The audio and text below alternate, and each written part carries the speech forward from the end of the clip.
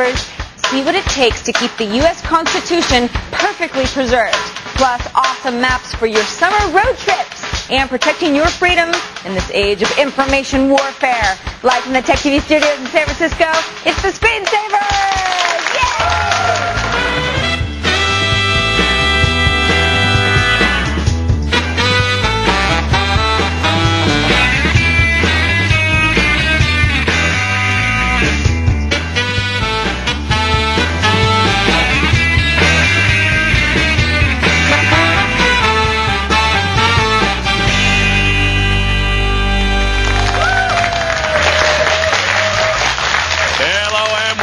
The Screensavers. I'm Patrick Norton. And I'm Kevin Rose. Thanks for joining us on the Screensavers, the show that gives you your daily dose of technology. We're continuing today with TSS Goes to Washington Week. All of us took a visit to our nation's capital to show you some cool things like inside the FCC labs and an interview with FCC Chairman Michael Powell. Leo walk in the yes, walk. With they the actually man. went to Best Buy or something like that, right? Hey, well, don't give it too Picked much out away. his gear? Well, he's going to talk about like how he he goes there.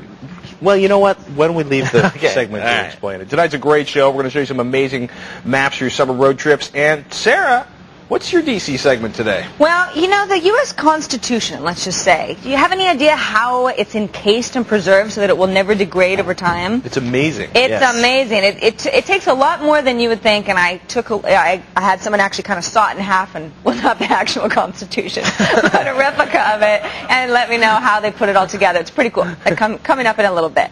I did not. I did not saw. Were you worried the there for a second? Constitution. Sarah shreds the Constitution. No more Constitution. This priceless Two pieces. Document. Sorry. Dan, what are you up to on the Yo, show I'm taking today? your phone calls as usual every day. Give me a call at 888-989-7879 and also email me at the screensavers at techtv.com. Not bad. Oh, and if you have a uh, netcam, you get a free t-shirt. Not bad.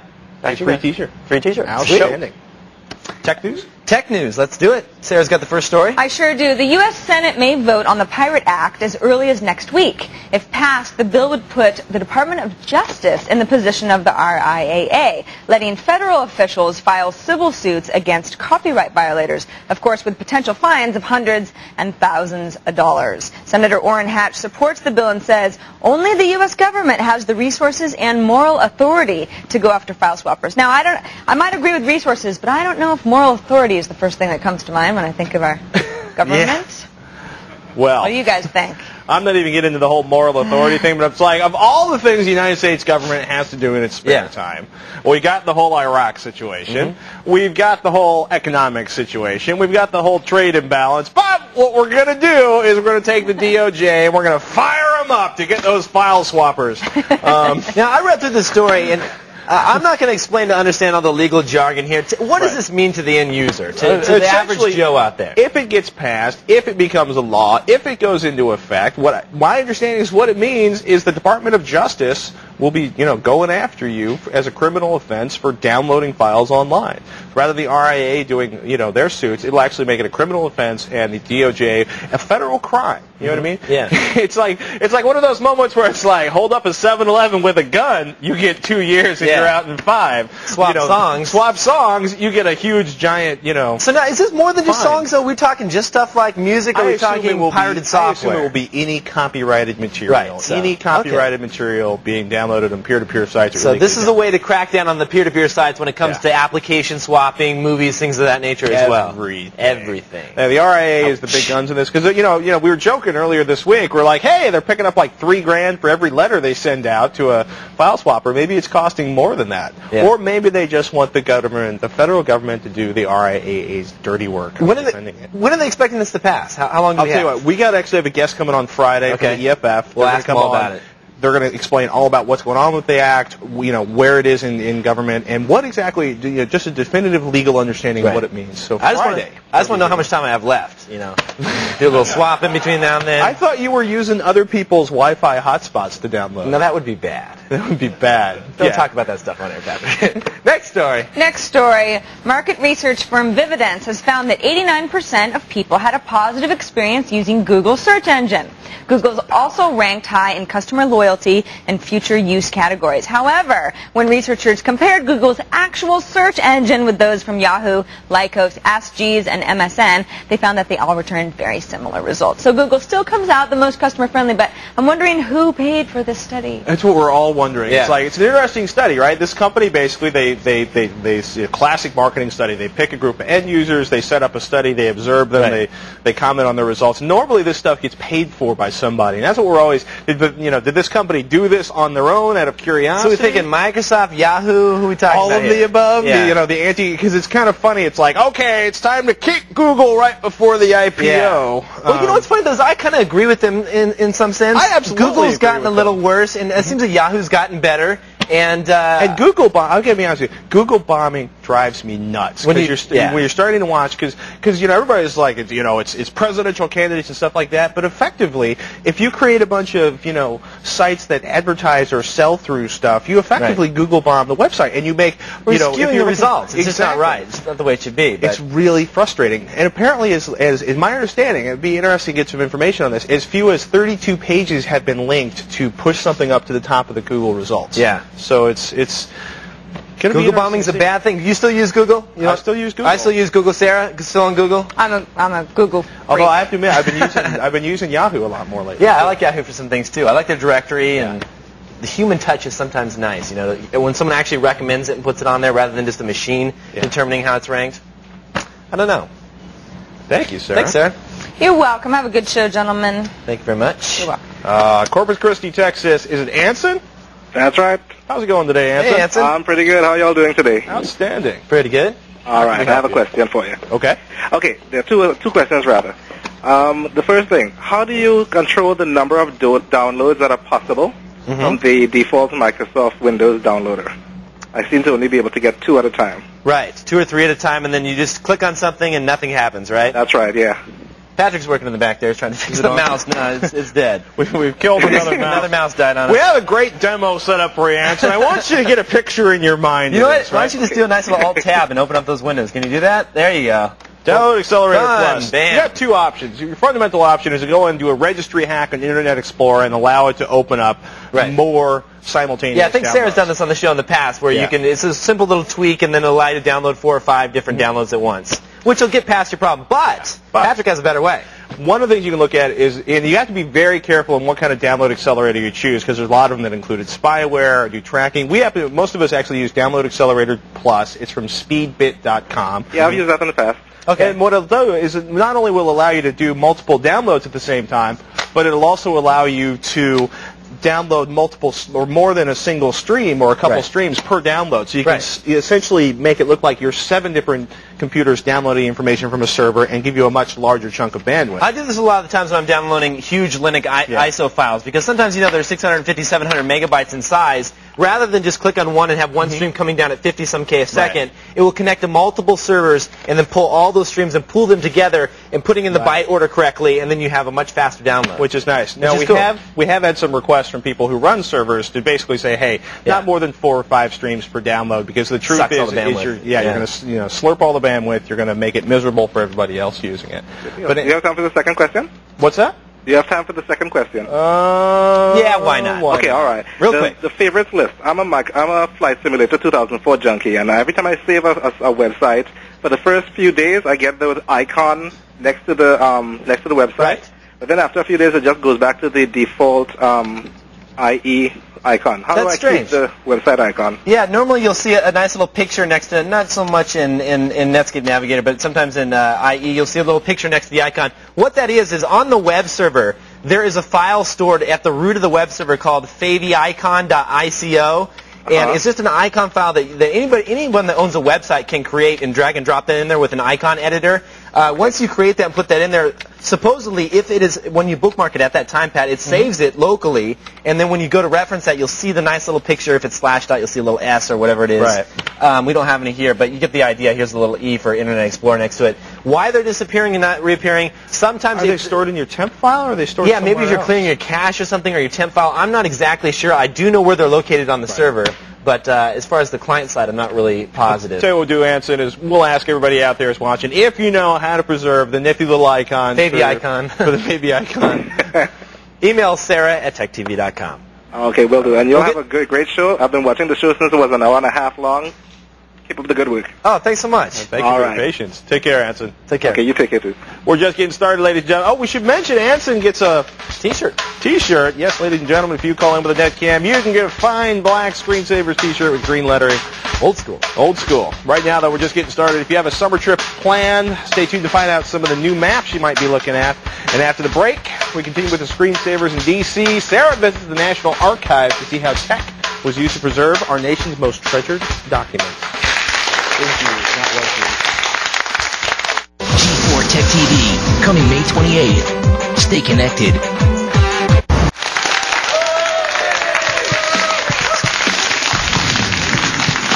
Welcome back, everybody. It's time now to continue with Washington Week here on the Screensavers. This stop, the National Archives in downtown Washington, D.C. The archives, of course, houses the Charters of Freedom, which include the U.S. Constitution, Bill of Rights, and the Declaration of Independence. It's important stuff, and you'd be surprised how much time and technology is put into preserving it. Take a look.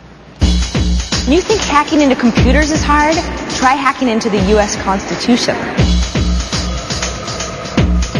Since 1776, the history behind the survival of the Declaration of Independence is amazing.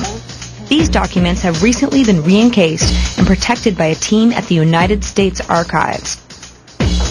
They've mixed technology with simplicity to make sure their symbolism will last forever. I'm standing in front of the Declaration of Independence. If you can make it out, we're looking at the original John Hancock signature. However, this document is fading fast. It's obviously important to preserve.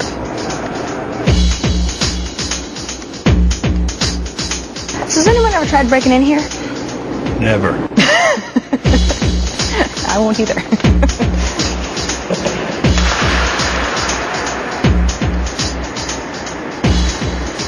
I'm here with Darlene McClurkin, exhibition specialist at the National Archives. Darlene, what is it that you do exactly here?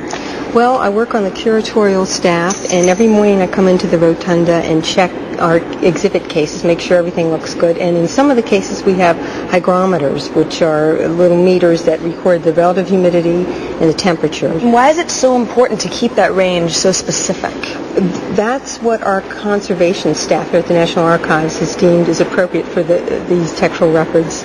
I think it's time we go talk to some of these conservators and see how they actually do it.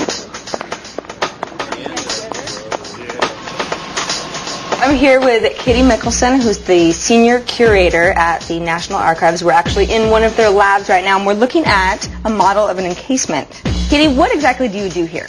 I was part of a very small team that did conservation treatment on the Constitution, the Declaration, the Bill of Rights. Wow. And what we have here is a corner model of the encasement that those documents, each single leaf is displayed in in the rotunda, which you saw this morning. That's right. So all of the beautiful displays that I, we can get close but you can't touch, this is what it would look like if we cut it up into a piece. Right. This is only a quarter of the whole thing. There's a central passage that's clear here, and that's actually used to um, allow a light beam to travel a W-shaped path. It goes in, there's a window. You see a cutaway of one of two uh, sapphire windows. A light beam can be hooked up to go in one window. It bounces a W path through uh, three different mirrors and goes out the second window. So these beams are measuring what kind of humidity is inside. Correct. And whether any oxygen has leaked in. The environment that we filled these encasements with is argon gas. It's an inert gas with a mm-hmm. certain amount of humidity.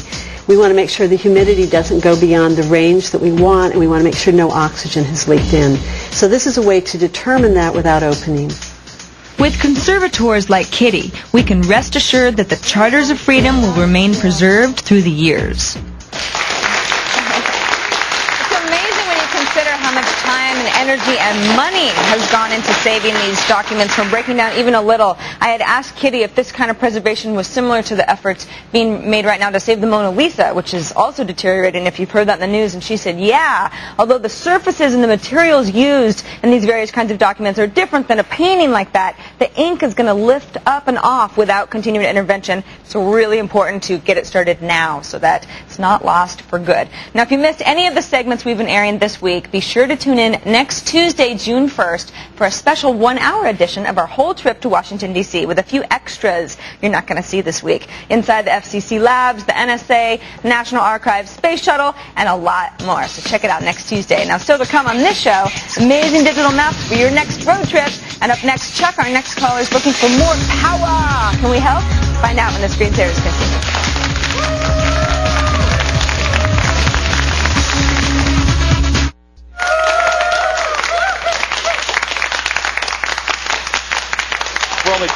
Away from the Screensavers LAN party. Powered by NVIDIA. So well Watch read. them play. The game is Battlefield 1942, the Desert Combat Mod, version .7. It's got new maps to kill people on, new sounds to hear people die, and new weapons to kill people with. So go to our website and click on Join Our LAN Party to register and for links to download the 591 megabyte Desert Combat Mod. If you have dial-up, you're not going to be able to play. If you have broadband, start downloading Yes. probably in a couple hours, because right now, I'd say that site's getting slammed. Get that download accelerator and Plus. fire it up. and it should only take an hour instead of six. Anyhow, you also have to have the full version of Battlefield 1942 to play, and we'll see a Thursday Screensavers LAN party. Sounds good. Now, Chuck joins us on the Tech TV Netcam network from Madisonville, Kentucky. Hey, Chuck. Hello. Hey, Chuck. How are you? Just fine. How are y'all? Good. Well, I have a question. I'm got a pretty big system with multiple hard drives and CD-ROMs and all that, and I've only got a 300 watt power supply, and I was wanting to know where I can go to find out how much power each thing in my system is uh, using because I'm adding uh, some neon since I've modded the case. Ah, so you're, are you worried about, uh, you know, over overstepping your boundaries with your power supply and having some Crashing your power supply. Yes. Okay. Uh, What what processor are you using, Chuck? It's uh, AMD Athlon uh, 2200. That's probably around, I think, either 55 or 65 watts, maybe Yeah. as much as 75. Some of the newer processors are pulling over 85 watts. That's a light bulb right there. It's a What- third of your power supply. Yeah, the video card also. These these video cards have been sucking out power. What kind of video card do you have? Yeah. It's a uh, GeForce FX 5600. Is that on, us in the background there on the TV? Yes. Can you turn it just a little sideways the cam? I just want to see what's going on. That's awesome. Look at there I am. Hey, It's a uh, 60 inch uh, Philips. that sounds flat crazy. anyway, I never never never done that before. I just wanted to do it. So uh, The big, I mean, I'd worry probably less about the individual cards um, than I would about the overall system. How many hard drives do you have in there, Chuck? I have four 80 gig Seagates. That's impressive. wow, Um, you know, wow. Are you doing RAID across those hard Uh, drives? two of them have RAID and the other two don't. That's awesome. That sounds. He's like got a great setup there. It's a really nice setup. AMD used to have a pretty good site that allowed you to that helped you calculate how big a power supply you need. I'd say off the top of my head, 400 watt power supply should cover your system. Yeah. 500, you know, 400, 450, 500 watts is still pretty extreme until you get to some of the next generation Mm-hmm. systems. Um, We'd also recommend searching. Don't necessarily buy the first power supply that you see in the bargain bin that's 400 watts. Right. Power supplies vary. Just Yeah. because it says it's 400 watts doesn't mean it's going to give Right. you. It may be 400 watts for like 10 seconds, and it swallows its own tail and takes your data with it, which is really frustrating. What, what's your favorite power supply vendor uh, up top here? I love if PC somebody else, yeah, if somebody else is paying for it, PC PC, Power Power and Cooling. yes. If I'm paying for it, there's a bunch of other brands that are out there. Well, I'm Um, getting ready to upgrade my processor, so Okay. Are you gonna? So what? What kind of processor are you going? well, to? I'm going either with a 2800 or a 3000. I don't think that's going to change your power consumption that much. Yeah. I'd say get at least a 400 watt power supply. Or you know how there's you ever have like the name of a company and you can't can't quite sort of get it. What are you out? looking for? What power the supply name of the power supply? Enter, I want to say Enermax. Uh, yeah, yeah, the Intermax is Intermax, one, and the right? Antec makes some nice ones. Yoshi would know if he was around. I think it took off. Dan, power supplies, Antec, Intermax. Is it Intermax? It Is is that- Intermax. Yeah. It's Intermax, I think. Yeah, Enermax has some really nice power supplies that aren't so expensive. Yeah. Um, actually, it'd be a good thing to price watch. But you're going to spend, figure if you're spending less than $50, you're probably not getting a high quality power supply, Chuck. So it'd be pretty much better off if I'm going to add anything else to upgrade the power supply. I'd say at least a 400 or 450 watt power supply. It sounds like you're going to keep adding stuff to this system over time. Yeah. You know, 500 watts probably overkill. We've seen 500 watts come in here, but they've always been like the water-cooled systems and the Right. high, high-end systems where you have, well, you have actually, has quite a bit of components there, but 400 watts should be just fine.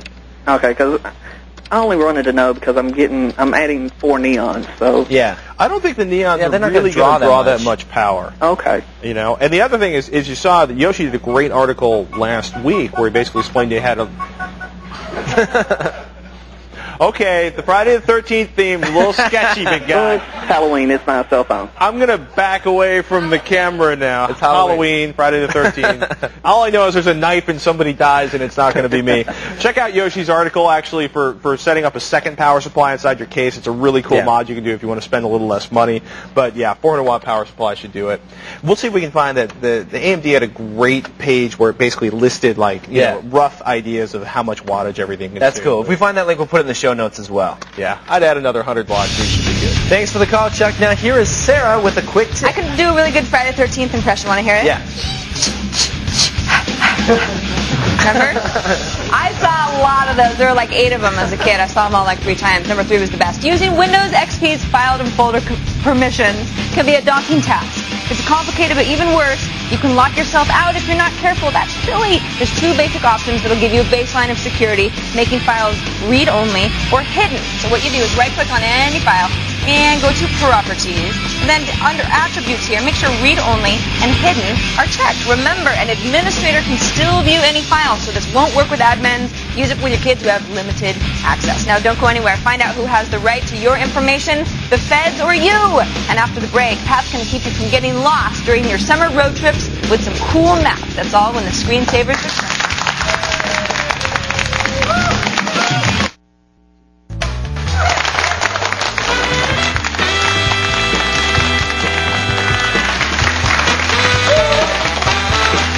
To the Screensavers. I'm Kevin Rose. And I'm Patrick Norton. Coming up in this half hour, we're going to talk about, well, the heated topic of the U.S. Patriot Act and who has the right to your information, or if you have right to information. And Leo's going to join us with a tip to make. Well, he's going to tell us about his favorite voice over IP That's cool. Cheap telephone service. Mm-hmm. And we got a caller who wants to know how they can get a Gmail account. We're going to talk It's about it. possible. It's Pe- possible. People want them. There's a lot of ways to get a Gmail account without taking pictures of your toes and mailing them to someone. It's a little rude. if you like summer road trips and you like using, well, your notebook to explore the nooks and crannies between hither and yon, we got some cool maps to show you. It's cool, right? I walked into local REI and it had two giant stacks of maps. And one of them was like DeLorme's Topo USA. So REI is selling software now, huh? REI's been selling software for a long had time. no idea. And the other one is like National. Oops, sorry about that. And the other one we got here is National Geographic's Backroads Explorer. And I'm There like, cool. Two like you know National Geographic's like they're like the map people, right? DeLorme have been using their software for years Mm-hmm. for road trips, and it's pretty interesting stuff. Like if you hold up a map there, hold the map towards the camera. Mm-hmm. Right. You know the idea is right is instead of having a whole bunch of paper maps, you can actually have the entire country at your fingertips in your computer in a really clean and simple way. And Mm-hmm. if you know if you don't mind traveling with a notebook, one of the other nice things you can do is you can have a GPS unit attached to your notebook. It'll track your I was going to say that's location. that's the big advantage because I've been using Yeah. uh, Streets and uh, Trips from Microsoft forever now, and I like how it plots out where you're going, and I love you it. figure out where you are. Yeah. And, you, know, you start making wrong turns. You can figure out how to get back to where you want to be. But what's interesting, right? is Part of the reason we brought this big old pile of paper maps is if you take a look, and we're going to click this one open right here. Take a look at this system over here. This is the National Geographic, the Topo exclamation point maps. And if you start looking at that, it looks exactly like a National Geographic map, the one they'd slide inside the magazine. And you can't really see it, but this is definitely scanned in and compressed because like underneath this 80 up here and around these words here, you can actually see the compression artifacts from the digital Yeah. compression. You can't see it that much over the camera, but boy, it's really noticeable up here. And you start clicking in, and you get into a higher level of detail. And let's click in. Uh, oh, let's let's head this down a little bit. The interface isn't too bad to work with. It's not my Go favorite. Area 51. Is it Area showing anything there? 51. I have no idea where that is. It's right Nevada. north of Nevada Test Site, right north of uh, Las Vegas. Well, I, I was going to Indian compare you. There we go. Okay, because I had this really nice demo Okay. set up, but we've we've just we've just shanghaied that.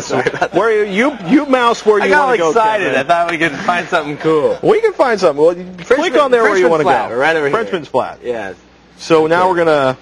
And Oh, look at that! I can't here. find it. Well, what's interesting? oh, wait, right? there it is. There it is. Okay. Yeah, but you notice how it's definitely got, you know, if you look closely, you can see under the Nevada up in the corner, you can definitely have the compression artifacts in here. It doesn't get really detailed. What's really interesting about the, the National Geographic maps, check this out. There's 17 CD-ROMs in this Wow. thing. And so if you want to have all of the information in your system, you get to manually copy all Wow. 17 CD-ROMs. You're not getting that off Kazaa. No, way. Well, maybe somebody Yeah. could create one giant zip file, true. but it's like it's a. I thought that was immensely frustrating. It's not the easiest thing to import. You've got to do it manually, and I got to be honest with you, I'm not really impressed with the quality of the maps. They're paper maps. They've been scanned in. If you're a big fan of paper maps and you don't mind the compression artifacts, it might not be a bad way to go.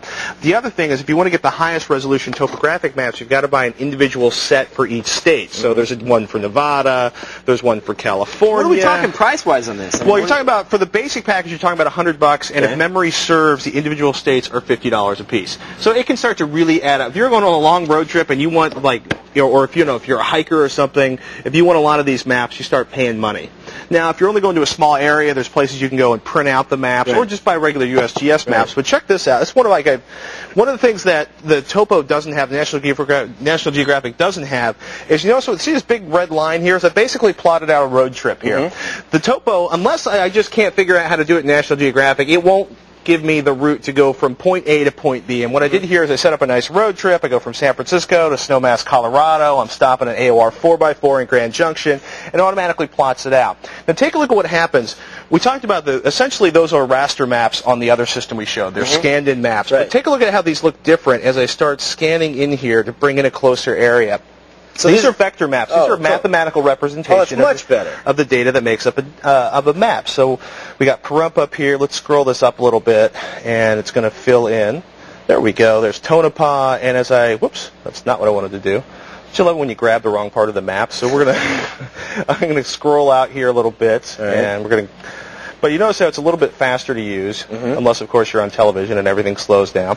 but uh, the information is a lot clearer. Now the you know you, you can obviously notice some of the some of the uneasiness and jagginess in the lines, but as I start to circle in on stuff, I can keep going in. They don't tell you to buy a second or third set of maps Oh, to go in on this one. So it's all in one. Now, how about Exactly. this option here for the road? It gives you the quickest route. Can you also choose by scenic route? if you Yeah, or ch- another choice one. One of the other interesting things I do in this is you'll notice as I keep drilling down on this, Mm-hmm. it still gives you a nice, clean representation of the lines.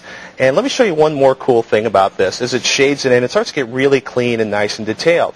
Now, one of the really interesting things about this is you may like it, you may think it's kind of goofy, you can turn on a 3D map. Now look at the left side there. As I turn that on, what it's going to do is render out a, uh, uh, the side view of it. Oh, that's cool. I got to figure out what I'm running in the background on this system because it should be running a lot faster. And I can change the angle. So if I want to follow a road up the hill, I can turn on the information. I can turn on the horizon. Oh, nice. I can change the angle, and I can actually exaggerate the details so I can figure out what kind of terrain I'm. I mean, this is cool for in. you. You gotta love this because you do all the off-road racing and things like that, and you this way you actually Yeah. get to see the terrain. It helps a little bit. It's, Yeah. it's not, you know, it's not quite one to one, but it's really, really nice to have more information in there. And I love the fact for a hundred bucks, the uh, Delorme gives you the entire United States. It gives you Mm-hmm. an incredible level of detail and resolution, and it's easy to import the data disk. And it's one DVD of data, not 17 Nice. CDs. It's easy to basically run the install. Works with the GPS too. Works with the GPS. Tells you to turn left when you're supposed to turn left. I don't do that. I, I love never that. use that. You love that That's stuff. cool stuff. You'll have to try that one out. We got more information, links to the map product we just showed on our website, thescreensavers.com. Excellent, good stuff. Let's check in with Dan for some very important information. Thank you, fellas. The Tech TV Digital Digs Roadshow is heading to a town near you. The next stop is Atlanta, Georgia. Come on out, meet Jessica Corbin, Morgan Webb, uh, Adam Sessler too, of course, yes. Uh, this is all at the uh, Lenox Square Mall on Saturday, June 5th from 11 a.m. to 7 p.m. and Sunday, June 6th from noon to 5. Not bad. Now, there you are. The latest craze is Gmail. Find out how to get it right after the break. But up next, the author from The Anarchist in the Library is here to tell us that the government restricts the free flow of information on the internet. All that when the screensaver comes back. G4 TV for gamers and tech TV are connecting to form the only network taking digital entertainment to the next level. Sound fun? I love video games. Plugged in to every aspect of games, gear, gadgets, and gigabytes. That was unexpected, right? Okay. You're watching G4 Tech TV. G4 Tech TV. Stay connected. Coming May 28th. For more information, go to g4techtv.com.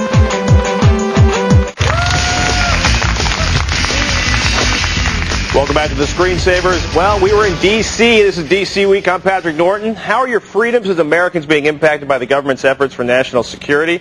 Author of The Anarchist in the Library, a cultural historian, media scholar, and he's a director of communication studies at NYU. Please welcome Siva Vaidhyanathan to the Screensavers. Welcome.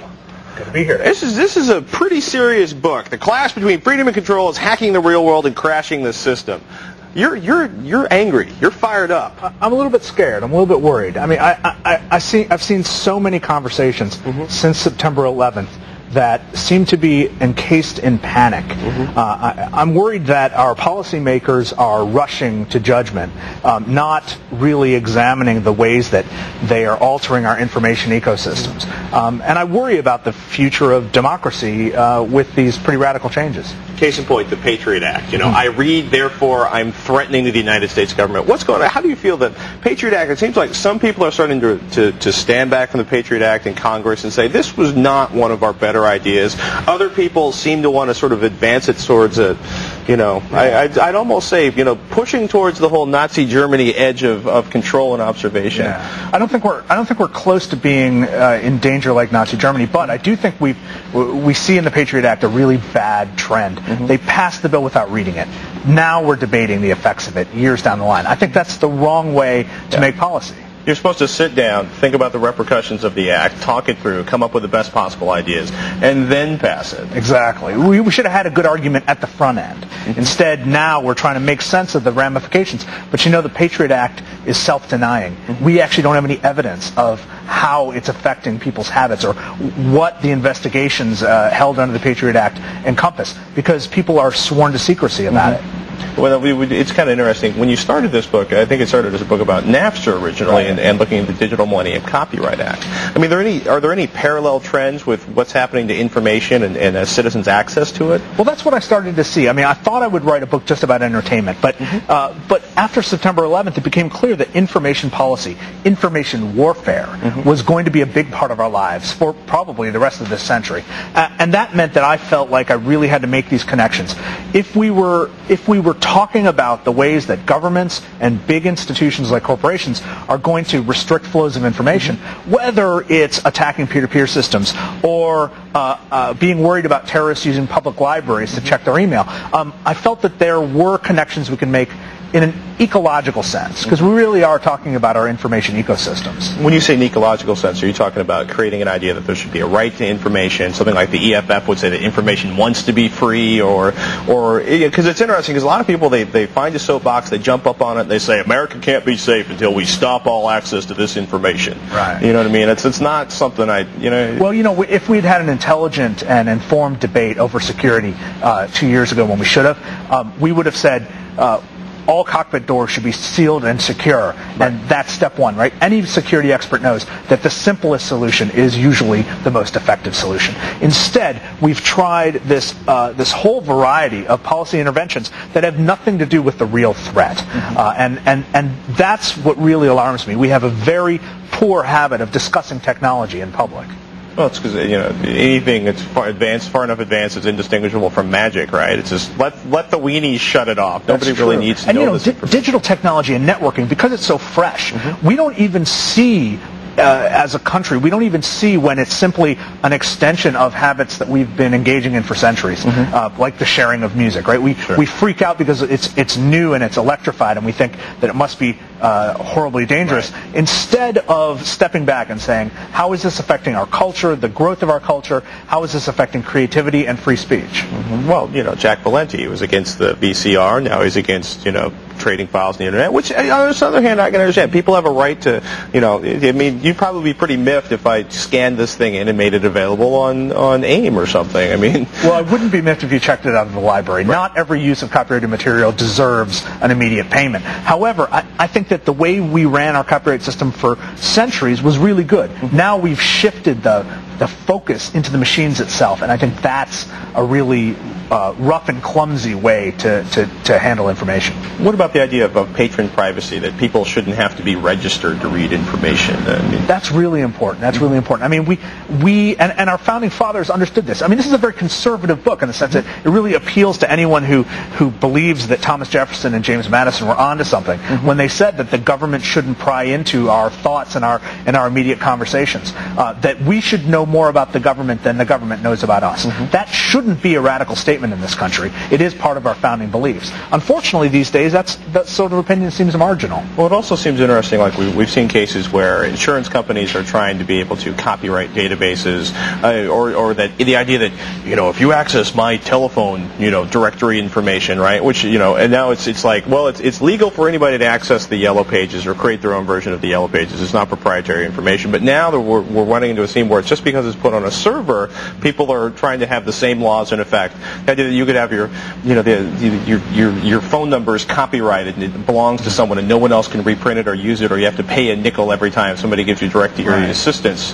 Uh, where do you see all that? I mean, that seems like an illogical extreme, but it's just one or two acts of Congress away. Well, today we see that the governor of California wants to protect his image so that people can't make fun of him, uh, and he's suing a company that's producing a bobblehead doll. I mean, that's that's so anti-democratic, uh, and for a man who is swept into office on a on a fairly radically democ- democratic process, uh, I, I, you know, I think that raises some serious values questions. We should be having an argument over values. We should be saying how information rich should the American people be? How much should we be able to play with our own culture and our own symbols? Uh, and if we decide that we err on the side of freedom, then we have to undo a lot of these changes and trends. How do we do that? Or if our viewers are kind of interested about how to help this process along, what do you recommend? There are a lot of organizations sprouting up uh, all over the place. Uh, you know, uh, getting involved with the Electronic Frontier Foundation is a good start. Uh, there's a, a, an organization in Washington called PublicKnowledge.org that is staying on top of legislation that deals with information policy. Uh, there's widespread activism when it comes to the FCC because the FCC has time and time again worked toward the concentration of information and culture and against the democratization of, of information and culture. And, and those are the sorts of uh, levels of activism that are really starting to solidify now. And I, I'm actually pretty pretty bullish on, on the movement at this point. Very good, Stephen. Thank you so much Thank you for taking the time to talk to us. Ladies and gentlemen, his book, The Anarchist in the Library, How the Clash Between Freedom and Control is Hacking the Real World and Crashing the System. Excellent read. Check it out, ladies and gentlemen. And stay where you are. More screensavers coming your way in just a couple minutes.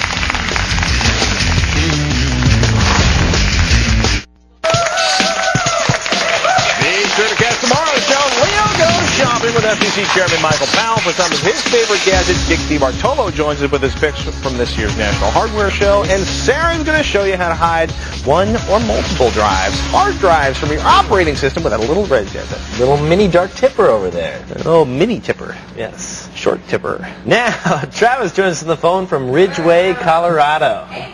This is an angry Hey, Travis. Hey guys. How's, How's it it going, going? Travis? Really good. Good to hear it. How can we help you today? Um, I'm trying to figure out how to get a Gmail account. Ooh, the Why, good I got to Gmail ask, accounts. why do you want a Gmail account, Travis? One gigabyte of storage is awesome. Do you have a gig of email right now and it's just, you know, you're starting to spill over, so you want to move it all to your Gmail? You got it. Wow. Wow. You get a lot of email. So, and you don't. You basically want the web access. You don't want to just download it onto your desktop and use an application that way. Exactly. Yeah. So, uh, do you like begging, Travis?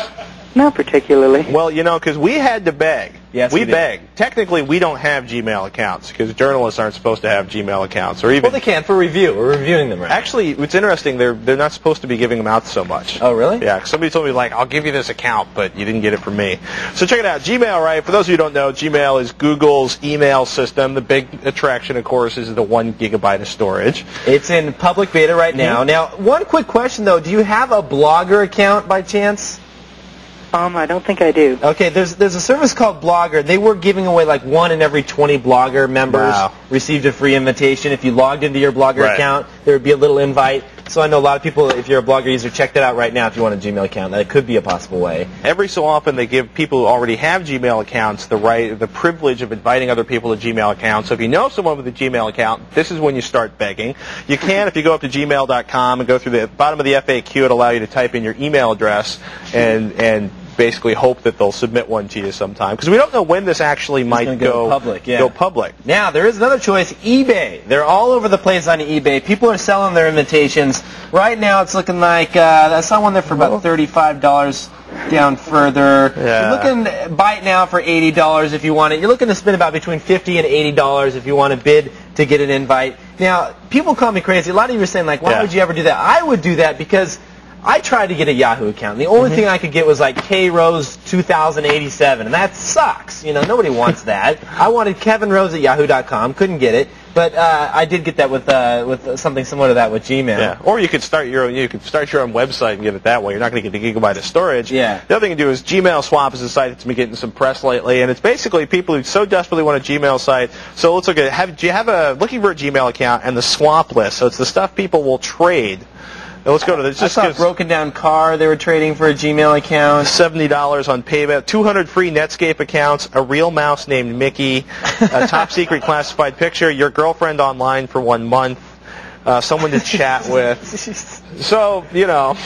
Check out the Gmail swap. If you want to spend the cash, check out the eBay. Otherwise, just sit around and wait like everybody else is doing. Good luck.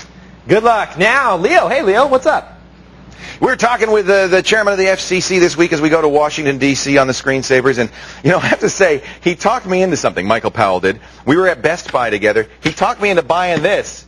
It's Vonage. It is voice over IP using your broadband for telephone. And Michael was right. This thing's amazing.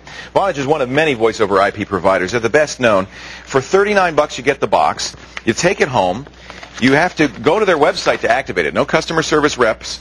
This is the uh, pretty easy step-by-step instructions. Didn't wasn't that hard for me to do. No customer service reps. You sign in. You give them the MAC address of the device. This becomes you. This unique network device address. This is your voice terminal. Now the beauty of that is you can carry this with you anywhere, anywhere there's broadband, and you say, and your phone number goes with you.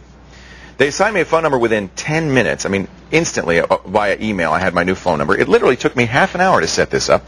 If you have some unusual configurations, you use PPPoE on a DSL connection or you have a static IP address, you'll log into the voice terminal just as you would with a Linksys broadband router and, and enter in those settings by hand. It really is very simple. And now, for $30 a month, I have high-quality internet telephony over my broadband connection. Get all the features like three-way calling, call waiting, call forwarding. I even get some additional features that only can be offered on the internet. And long distance is free in the U.S. and Canada, $30 a month. I think this is the future of telephones. Vonage. Take a look at it, guys. I think you're going to like it. I'll be calling.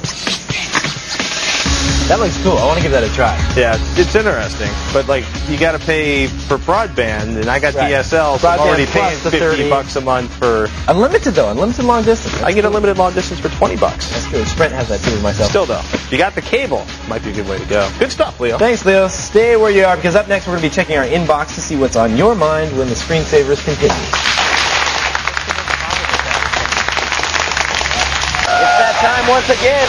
Before we, before we go to emails, though, we actually had a bunch of people emailed in. They said Ah, yes. of an application called Favorg. If we, I don't know if we can show the. We have it on home computer base, right? Yeah. It's a PC Mag free download. is designed to. The Favicons, is that what those are called? Yeah, Favicons.ico. It's a little mm-hmm. tiny file there, but supposedly if you download and install this, this will help fix that problem. Scan for the icons from your favorite websites and, mm-hmm. and load them onto your system. Cool. And monitor them. Sounds good. Now, Sarah, do you have any final emails? Yeah, Brian from Houston, Texas has a suggestion, a download suggestion. I know you guys recommend Download Accelerator, and I personally use GetRight for downloading Linux ISOs, but I have found the mother of all download utilities. It's Net Transport by Xi. That's at xi-soft.com. Hmm. So, I've never played with that heads one. up on that one. Cool. We'll try it tonight. All right. Moving on. Jeff from Clinton Township, Michigan says, is it possible to run a web server on my Windows XP Pro machine? I have DSL with a static IP, and the websites I'm going to host are just a few pages for my dealers to go prices for my business, friend's business. It's not going to have a lot of traffic. Did he say he had a static IP address? Yes. Mhm. Yeah, I mean, you can do it even with the dynamic. There's certain utilities that you can use, Right. but he could uh, download a free DNS. copy of Apache and put it on there. Uh, they have Apache for Windows. You can use the, can run. you know, the internet server that's built into Windows. Yeah, Internet Information Server he can download. I'm not Yeah. sure how it works for XP. The, I'd have to check into that, but I know Apache works fine. Well, the question is, is like, how do you keep it secure and safe? Because people are going to be scanning, even though nobody knows about your system, people are going to be scanning constantly looking for vulnerable systems. So you really need to make sure, you know, you've you've got every security patch loaded and you keep on top of it. Yeah. Yes, indeed. Another quick one? Real quick, uh, you guys mention software swapping on peer-to-peer networks all the time, but you never mention getting songs and movies from news groups. Any information you'd like to share about downloading from those? News groups have been around forever. They're Yeah. a great resource. They're Uh, kind of overwhelmed with spam a lot of the time, or at least some of them. Yeah, used to go you know, to. it's it's tricky. It's tricky. There's a lot. It depends on what you, You know what? There's Google. If you can't figure it out from Google, you don't get to download the stuff from news groups. I'm sorry. That one you need to do yourself. That's it for this edition of the Screensavers. I'm Kevin Rose. And I'm Patrick Norton. Thanks for joining us. We'd like to thank our guests, Siva Vaidhyanathan and Darlene McClurkin, and Kitty Nicholson of the National Archives. See you next time.